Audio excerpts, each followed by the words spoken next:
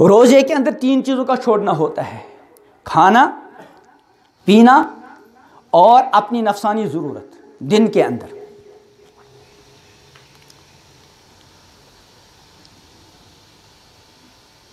اب یہ جو ہمارا بچہ ابھی غیر شادی شدہ ہے۔ رمضان آ گیا، سب نے روزہ رکھا۔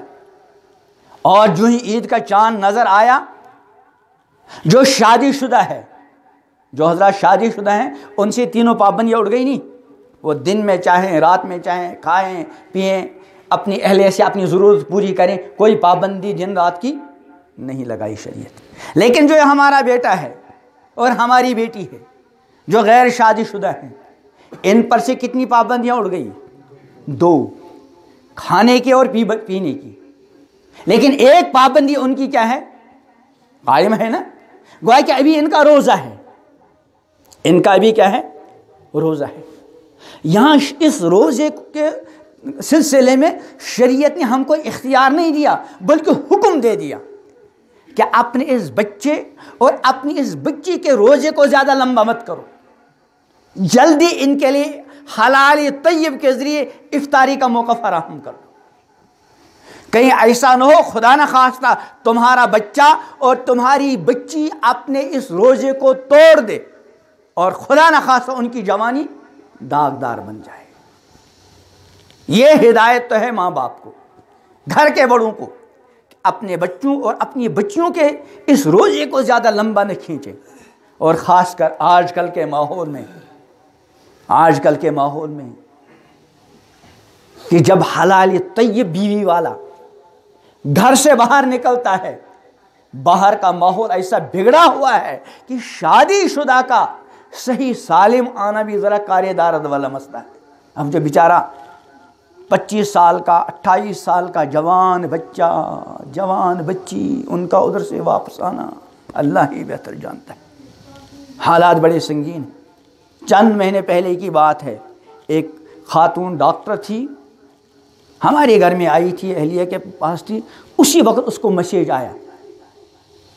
ایک بیٹی کے والد کی طرف سے کہ ہماری ساتویں کلاس میں پڑھنے والی بچے کا عبارشن کرنا ہے۔ اللہ رحم کرے۔ کل میں ایک جگہ مسجد میں تھا تو ہمارے ایک دوست آئے، اپنے گاؤں کا معاملہ سنایا کہ سترہ یا اٹھارہ سالہ بچی کا لڑکا پیدا ہوا، غیر شادشتہ۔ والد کتنا بے غیرت، کتنا بے حص اس نے لڑکے سے تین لاکھ روپے لے لیے۔ بیٹی کے والد نے لڑکے سے تین لاکھ روپے لے لیے۔ اور جو وہ بدکاری سے بچہ پیدا ہو گیا تھا کہا یہ تم رکھ لو، ہمیں اس کو کیا کرنا؟ اور اس لڑکے نے اس بچے کو تین لاکھ روپے میں بیچا۔ اللہ ہمارے حال پر رحم کرے۔ تو ایسے حالات میں ماں باپ کی ذمہ داری ہے اپنے بچوں اور اپنی بچیوں کے نکاح میں جس قدر ممکن ہو، جلد از جلد اپنی ذمہ داری کو نبھائیں۔ اس حدیث کی روشنی میں میں غیر شادی شدہ اپنے عزیزوں سے بھی ایک گزارش کیا کرتا ہوں کہ روزے دار مثلا تین بھائی ایک گھر میں ماں باپ دینی مزاج رکھتے ہیں۔ دو بچوں کا مزاج دینی ہے۔ ایک بچہ ذرا آوارہ ہے، آواروں کے ساتھ اٹھے گا تو آوارہ ہی بنے گا۔ ماں باپ کا مزاج دینی ہے، جب رمضان مبارک آ گیا تو تینوں شہری کے لیے سب کو اٹھنا پڑا۔ وہ جو آوارہ، وہ بادل ناخواستہ اٹھ گیا والد اور والدہ کے ڈر سے۔ شہری کھائی، جب باہر نکلے، کیونکہ اس کو روزہ رکھنے کا ارادہ ہی نہیں تھا۔ وہ تو اس نے روزہ رکھا تھا، شہری کھائی تھی ماں باپ کے ڈر سے۔ جب باہر نکلا تو چوری چھپے کھاتا پیتا رہا اور اپنے آپ کو کیا ظاہر کرتا رہا؟ روزے دار۔ دو بھائی اور جو دیندار قسم کے تھے ان نے اللہ کے ڈر سے روزہ رکھا، اللہ کی رضا کے لیے روزہ رکھا۔ ان میں فرق تھا۔ ایک بھائی جو ہے، ذرا کمزور قسم کا تھا، زیادہ شہری کھائی بھی نہیں گئی اور ویسے بھی کمزور تھا۔ جب ظہر کا وقت آ گیا تو وہ شہری کا معاملہ ختم ہو گیا۔ اب اس کو بھوک اور پیاس نے ستانا شروع کر لیا۔ بچے ذرا توجہ سے سنیں۔ اور دوسرا ذرا مضبوط تھا، شہری بھی ٹھیک طریقے سے کھائی تھی۔ چار بجے تک اس پر کوئی زیادہ اثر۔ لیکن چار بجے کے بعد اس کو بھی بھوک اور پیاس نے ستانا۔ لیکن دونوں نے صبر کیا۔ افطاری کا وقت آ گیا۔ گھر میں دسترخوان بج گیا اور طرح طرح کی نعمتیں دسترخوان پہ لگ گئی۔ معذن نے اذان دی۔ افطاری کا وقت آ گیا، تینوں نے افطاری کی۔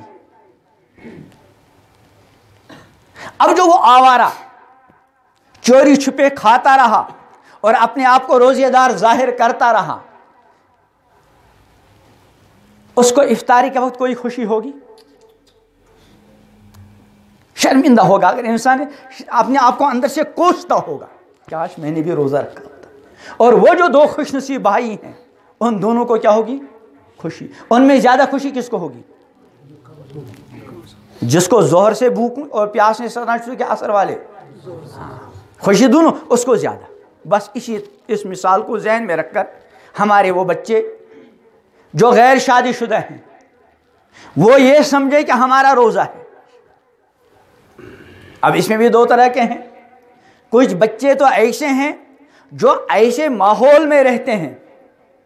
کہ وہاں اس والے روزے کو قائم رکھنا مشکل۔ مثلا کسی ایسے اسکول میں پڑھ رہا ہے، ایسے کالج میں پڑھ رہا ہے، جہاں ایک ہی کلاس میں لڑکے بھی ہیں اور لڑکیاں بھی ہیں۔ دوسرا، ہمارا بیٹا کسی ایسے کالج میں پڑھ رہا ہے جہاں بچیاں نہیں۔ زیادہ مشکلات کس کو ہیں؟ اپنے روزے کو قائم رکھنے میں اس والے کو زیادہ مشکلات ہیں۔ مشکلات اس کو بھی، چونکہ آج کا ماحول ہی ایسا ہے۔ لیکن اس کو وہ کلاش کے وقت میں بھی مشکلات کا سامنا ہے۔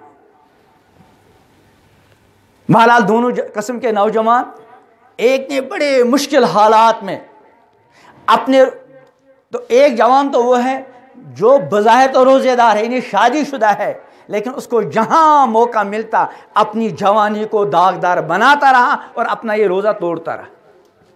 اور دو قسم کے نوجوان وہ جن نے اپنے روزے کو قائم رکھا۔ اپنی جوانی کو داغدار نہیں ہونے دیا۔ لیکن ایک کو اس سلسلے میں بڑی مشکلات کا سامنا کرنا پڑا۔ ادھری سے اس کو پیشکش ہو رہی تھی، روزانہ جوانی کو داغدار بنانے کی، روزے کو توڑنے کی۔ لیکن اللہ نے مدد کی، اس نے ہمت سے کام لیا اور اپنی جوانی کو داغدار ہونے، اپنے روزے کو قائم رکھنے میں کیا ہو گیا؟ کامیاب۔ دوسرے کو بھی مشکلات بہرحال پیش آئی۔ اس نے بھی ہمت کی۔ اللہ نے اس کو بھی پاک باز افیف پاک دامند رکھا۔ اب یہ تینوں طرح کے نوجوان بچے ہوں یا بچیاں ہوں، ان کی شادی کا وقت آ گیا۔ لڑکیاں ہیں، ان کو اللہ نے حلال طیب شوہر عطا کیے۔ لڑکے تھے، اللہ نے حلال طیب بیویاں عطا کی اب گویا کہ وہ والا روزہ جو غیر شادی شدہوں کا چل رہا تھا، اس روزے کے افطاری کا وقت آ گیا۔ اب وہ ایک والا آوارہ قسم کے وہ نوجوان جنہوں نے اپنے روزے کا کوئی خیال نہیں رکھا، جہاں موقع ملا اپنی جوانی کو داغدار بناتے رہے اور اپنا روزہ توڑتے رہے۔ اب جو حلال طیب بیوی مل گئی۔ بعض مرتبہ تو اپنی جوانی کو اتنے داغدار بنا چکے ہوتے ہیں اور اپنے آپ کو اتنے تباہ اور برباد کر چکے ہوتے ہیں۔ اب وہ افطار کے لائق بھی نہیں ہوتے، بیوی کے لائق ہی نہیں۔ ایک دو مہینے تک بیچاری بیوی نے صبر کر لیا اور پھر اس کا کچا چٹھا جو ہے باہر کر دیا۔ اور اگر کسی قدر افطار کے قابل ہوا بیوی کے بعد جانے کے لائق ہوا بھی، جتنا اس کو حلالی طیب بیوی ملنے پر خوشی ہوگی، اس سے کئی گنا زیادہ اس کو ندامت، شرمندگی ہوگی اپنے روزے کے بار بار توڑنے پر اور اپنی جوانی کو بار بار داغدار بنا لی۔ اس کے برعکس، وہ جو دو قسم کے نوجوان جنہوں نے اللہ سے مدد مانگی، اچھے ماحول میں رہے، اچھے دوستوں کے ساتھ اٹھنا بیٹھنا رکھا، اپنے روزے کا خیال رکھا اور اپنی جوانی کو داغدار ہونے نہیں دیا اب جب حلالی طیب بیوی مل گئی اور افطاری کا وقت آ گیا، جتنا حلالی طیب بیوی اور حلال کے ذریعے افطار کرنے سے جو خوشی ہوگی، اس سے کئی گنا خوشی انشاءاللہ اس بات پر ہوگی کہ وہ اپنی جوانی کو داغدار ہونے سے بچانے میں کامیاب ہو گئے اور ان نے مشکل حالات میں بھی اپنے روزے کو قائم رکھا۔ اللہ کرے ہمارے جوان اپنے اس روزے کو قائم رکھے۔